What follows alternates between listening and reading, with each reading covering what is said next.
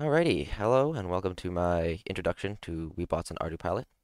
I hope to kind of go over the basics of Webots so you can use it, as well as show you how to start running ArduPilot and looking into the back end of the what connects Webots and ArduPilot, such that you can add your own vehicle or use cameras. So let's get started. The first thing you do after have, um, installing Webots and having a working dev environment is to, within Webots, navigate to the Webots uh, world file, uh, sorry, folder within ArduPilot. Down here, I would suggest starting by running the Iris world. This is a basic uh, quad rotor. If you're interested in rovers, we have one for the Pioneer 3AT as well. And the other ones I will get into later. Alright, starting up our world, first thing that I want to point out is up here, we have the simulation time and speed. To actually start the simulation going, we're going to hit play. You can see we're running near real time. If you want it to go faster than real time, double arrow, you've jumped up faster. But for now, we'll um, start in just normal real time. Down here, I also want to note that we it says now we're waiting for the autopilot SITL. So to actually provide the SITL, we're going to run this following command.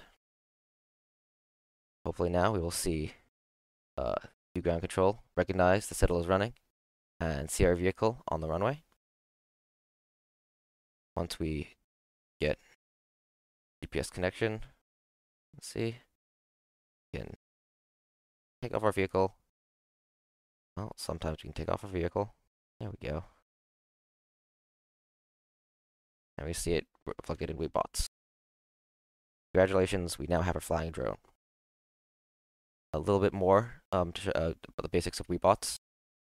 Your right click is your pan. The left click is your rotate. Now we can see that we're in a world, a giant sign, runway, ground, and this nice background. I'll now also demonstrate the ability to go faster in real time. I always hate waiting for how long it takes a, a simulated drone to return to launch. However, in Fast in real time, it is a breeze. Alrighty. Now that we've got a drone flying uh, in Webots, let's kind of dive back um, um, into the um, the back end. So, and this, jump into VS Code, and navigate to the Webots Python um, folder. In here, you will see a controllers folder. This is where the Python code um, is that actually is being run by Webots and is communicating with the SITL. Parameters folder, uh, which is not super important, but contains files um, such as the default parameters such as PID tune, um, as well as some other bits and pieces for Iris. If you make a different vehicle, you'll probably need to make your own. And then the first folder um, of major interest, especially if you're making your own drone um, or other vehicles such as a rover or uh, possibly a plane, you would create your own uh, proto proto file. Here's an example of the proto file for the Iris drone. It starts with um, declaring some parameters. So we want to be able to edit them when we put the drone into the world. We want to edit the translation and rotation, maybe its name, what controller it has, and the arguments. Looking through um uh, through this proto file, the body then has um, some key, key things such as shape of the actual body, which um, see is stored in the meshes folder. Uh, this mesh has a dark gray appearance. If, for um, uh, by the way, you have um, any interest in what PBR um, um, appearance is, what the shapes are, what group means, feel free to uh, Google Webots and then PBR appearance, for example. Webots documentation is absolutely amazing. Kudos to uh, the dev team over there. Going down further, we will see that we have four propellers, an accelerometer, GPS, gyro, and inertial unit, or IMU. These four sensors are crucial for every single uh, ArduPilot simulated vehicle, as ArduPilot needs um, information such as acceleration and uh, location. And then the propellers uh, are a little bit complex. I won't dive too, um, too much into them besides saying that they have a name and that if you copy this over and put it onto your own drone, the things that you need to modify are, probably thrust and torque coefficients, where they're located, aka the center of thrust, as well as putting your own uh, possible uh, mesh, make it look as you want it to. All right, let's actually see where um, where these profiles are used. By going back into this world file that we just opened.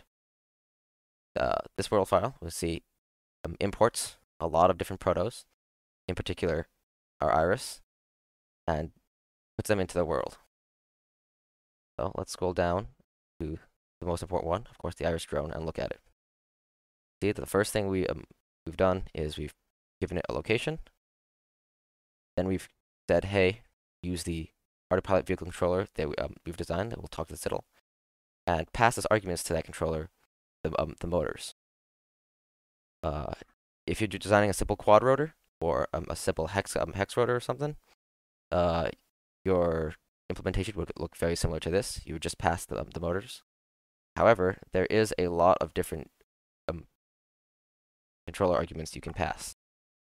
For example, if we go into vehicle controller, you can um, see them all. The ones that I want to point out are renaming any of the sensors. By default, they will have uh, the accelerometer, if not given a name in the proto file, will be called accelerometer.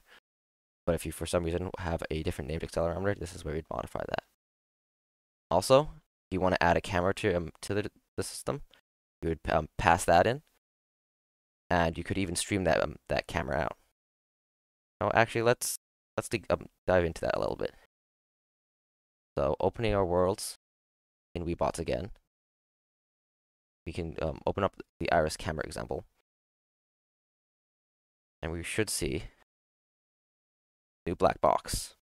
This is because this time our drone, iris drone, has in its extension slot camera and camera. To actually get this camera displaying anything instead of a black box, actually to run the simulation, we'll see, boom, got a simulated camera. That's only useful if we can actually get images somehow into code, so we can actually utilize that information. There's two ways to do this. Go over both real quick.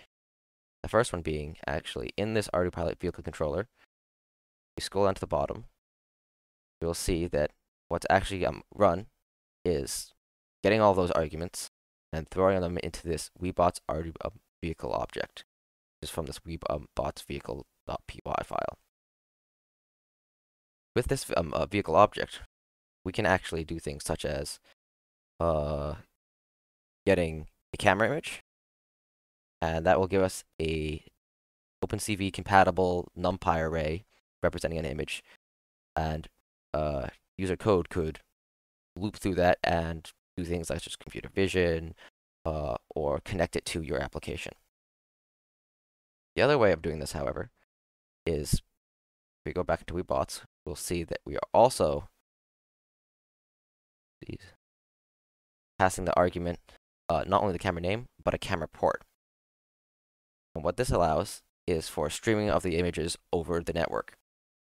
So, we can look at an example um, of receiving piece of code scripts uh, called example cameras receive. And what this will do is basically subscribe to that um, uh, that connection from Webots and give us them uh, give us an image.